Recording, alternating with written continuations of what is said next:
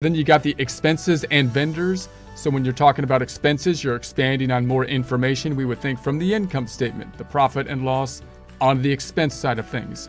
Note on the income statement, the expenses are, are by category, what we paid for, what we bought. So we don't have the expenses by vendor, who we bought from, on the income statement. We don't typically put an expense saying, this is Verizon. No, we say telephone bill. And then, so if we want to break out that more information, we might have reports that can break it out by vendor. So we got the check detail.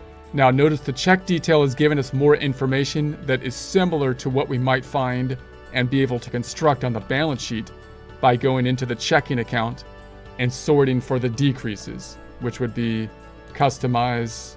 We can go filters and we can say transactions and I want to look at the decreases, which would be uh, the payments, the checks, the there's kind of a lot of them because we have these different things that could be a decrease, so it gets a little bit to possibly a transfer. I'm looking major, uh, principally for the expense form, and run that, and so now we've got our decrease. So you can kind of construct that detail from the checking account anytime you're looking at a report that's having, in essence, some kind of increase or decrease to the checking account. You can sort and filter to the actual checking account. And then I can go over here and then we've got the expense by vendor. So now we've got the expenses now by vendor. So breaking out that information instead of just by account.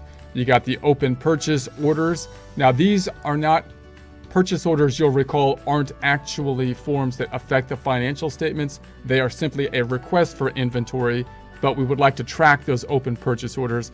Oftentimes, you might not do that in a report, although it might be useful for external reporting purposes or to report to a supervisor. You would be going internal here, going to uh, the the vendor area, which is here, and then possibly going to the expenses and sorting, filtering by uh, the purchase orders possibly is one way that you can do that and see whether they're open or closed and and so on.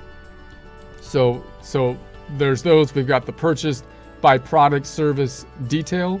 So if you purchased like inventory, then you've got the items that you that you purchased.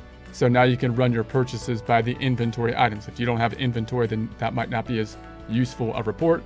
Purchased by vendor detail. So now we're making our purchases again by who we purchased from, but giving more detail. Transaction list by vendor. So now you've got your transactions by who we paid, and then you got your vendor contact list.